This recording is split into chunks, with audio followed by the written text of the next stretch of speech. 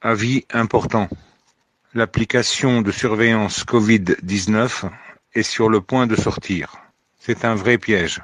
Si vous installez cette application, ce sera la fin de votre vie privée sous toutes ses formes.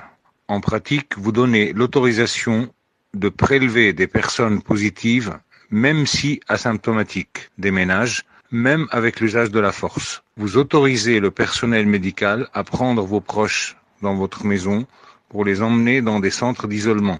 Ne l'installez pas. Avertissez vos parents, avertissez vos parents, vos amis et connaissances d'être très prudents.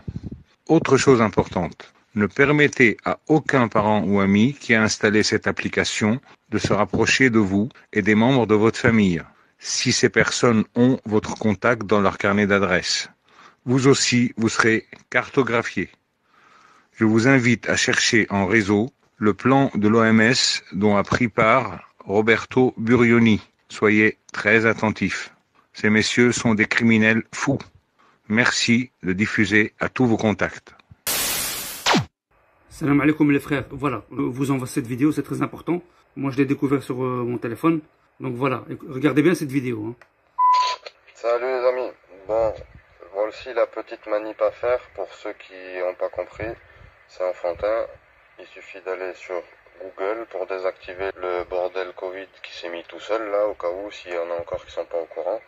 Euh, il y a certains téléphones dans lesquels c'est déjà activé et d'autres où c'est pas encore activé. Donc vous allez dans paramètres, après dans Google, et une fois que vous êtes ici, vous constatez qu'il y a écrit notification d'exposition au Covid-19.